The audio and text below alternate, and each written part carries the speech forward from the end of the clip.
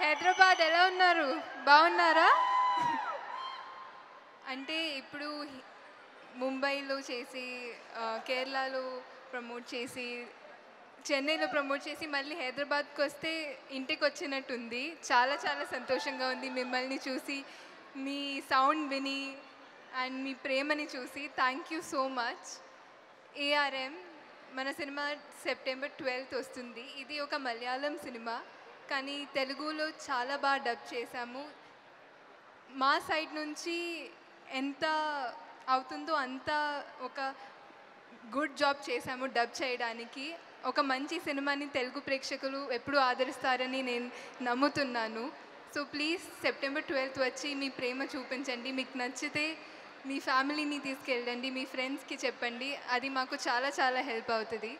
And Tovino నేను ఎప్పుడు చెప్తాను I think he's the he's one of the greatest actors of our generation ఈ సినిమాలో ఆయన చేసిన హార్డ్ వర్క్ అండ్ ఆయన మూడు క్యారెక్టర్లు చేశారు. ఎప్పుడు ఒక టూ క్యారెక్టర్స్ ఒక సినిమాలో చేయడానికి కష్టం అవుతుంది మూడు అంటే ఇంకా కష్టం. కానీ చాలా హార్డ్ వర్క్ పెట్టి చాలా చాలా బాగా చేశారు. And I think this film will definitely be a turning point in your career and I wish you all the best with that Jithin మన డైరెక్టర్ ఈరోజు ఇక్కడ రాలేదు. ఎందుకంటే ఆయన ఇంకా వర్క్ చేస్తున్నారు. అయింది కూడా ఇది మొదటి సినిమా.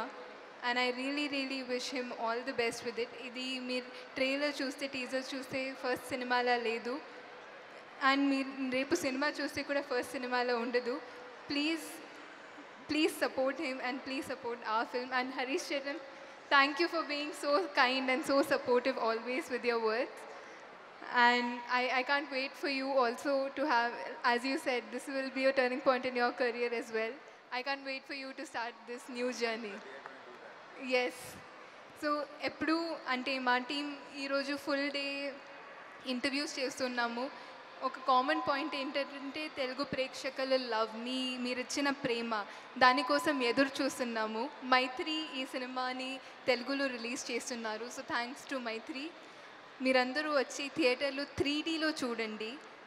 మనకి చాలా చాలా ఎదురు చూస్తున్నాము మీ ప్రేమ వినడానికి చూడడానికి. Thank you thank you very much love you all thank you